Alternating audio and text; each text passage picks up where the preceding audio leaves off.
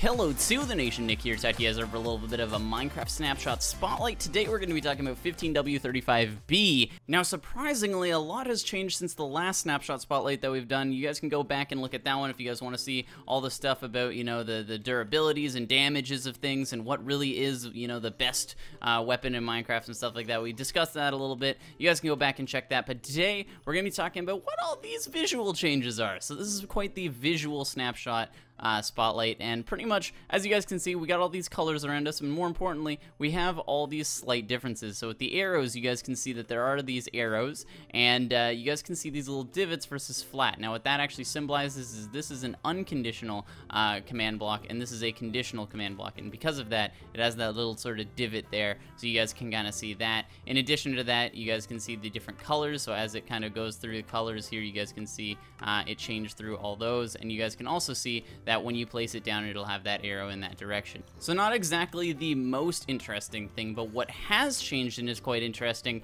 is they've actually added the ability to add um, attributes to items when they give them to you. So in this one, we're going to be adding the generic uh, attack damage attribute to an item, so you guys can see that. This has been added with the new snapshot, and if we place this block right here, Boom, it's gonna give me an axe, but not just any axe, an axe that when in main hand has 20 attack damage. So specifically, when this axe is in my main hand, it'll deal 20 attack damage versus uh, somewhere else. Now this can be changed to even give you things like potion effects, so it'll give you speed effects, it could give you haste effects, it could give you all that sort of stuff when it's your main hand, when it's in your secondary hand, all that sort of stuff. So definitely something cool, definitely something interesting. Um, you guys, uh, I mentioned in the last video that the hoe last time did not take any damage when uh, when you attacked with it. So if I say switch out of game mode here, you guys will be able to see I can go boom, oh, boom, and there you go, boom. As you guys can see, the hoe now has taken uh, some durability there. The other big visual change that they made in the Snapshot 15W35B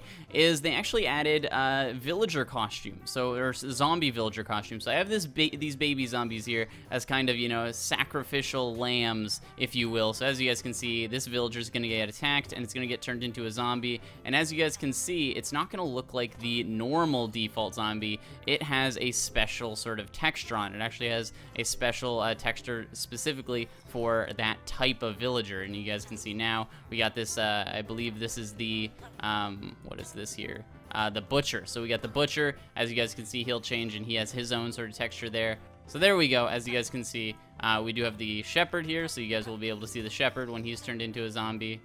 And boom, looks a little bit different. As you guys can see, we have the Cleric here, which the Cleric I think looks pretty darn cool when he changes. Wait for it. There we go. And boom. Let's get him to turn around here. There you guys can see that he uh, he does look pretty cool. But anyway, guys, that's about it for what was changed in this Minecraft 1.9 snapshot. Make sure you guys subscribe to be updated when I make more videos like this, and comment down below what do you guys want to see changed in future versions of the snapshot. Do you guys want to see more aesthetic differences to the command blocks? Do you guys want to see more aesthetic differences to mobs and whatnot? But anyway, hopefully you did enjoy. I'm the Doctor, and I'm out. Bye.